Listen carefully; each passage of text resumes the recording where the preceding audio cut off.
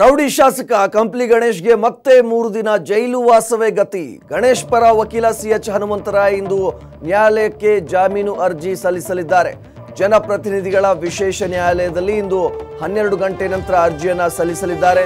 ನ್ಯಾಯಾಲಯದ ನಿಯಮಾವಳಿಗಳ ಪ್ರಕಾರ ಅರ್ಜಿ ಸಲ್ಲಿಸಿದ ದಿನವೇ ನ್ಯಾಯಾಲಯ ಅರ್ಜಿಯ ವಿಚಾರಣೆಯನ್ನು ಕೈಗೆತ್ತಿಕೊಳ್ಳುವಂತಹ ಸಂಭವ ತೀರಾ ಕಡಿಮೆ ಇರುತ್ತೆ.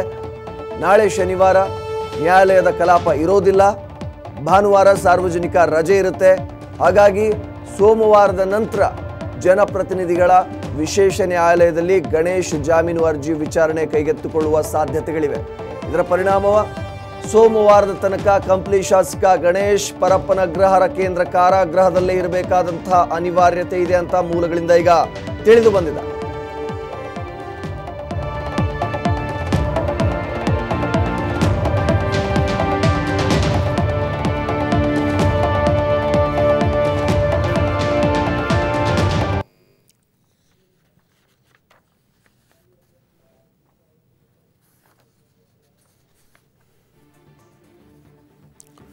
ರೌಡಿ ಶಾಸಕ ಕಂಪ್ಲಿ ಗಣೇಶ್ಗೆ ಮತ್ತೆ ಮೂರು ದಿನ ಜೈಲು ವಾಸವೇ ಗತಿ ಅಂತ ಹೇಳಲಾಗ್ತಾ ಇದೆ.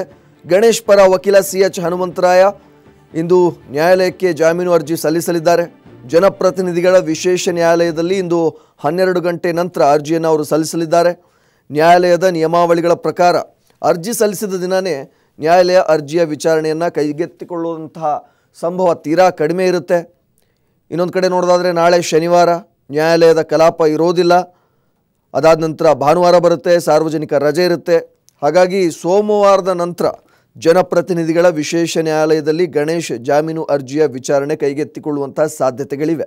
ಇದರ ಪರಿಣಾಮ ಸೋಮವಾರದ ತನಕ ಕಂಪ್ಲಿ ಶಾಸಕ ಗಣೇಶ್ ಪರಪ್ಪನ ಗ್ರಹರ ಕೇಂದ್ರ ಕಾರಾಗೃಹದಲ್ಲೇ ಇರಬೇಕಾದಂತಹ ಅನಿವಾರ್ಯತೆ ಇದೆ ಅಂತ ಈಗ ಮೂಲಗಳಿಂದ ತಿಳಿದು ಬಂದಿದೆ.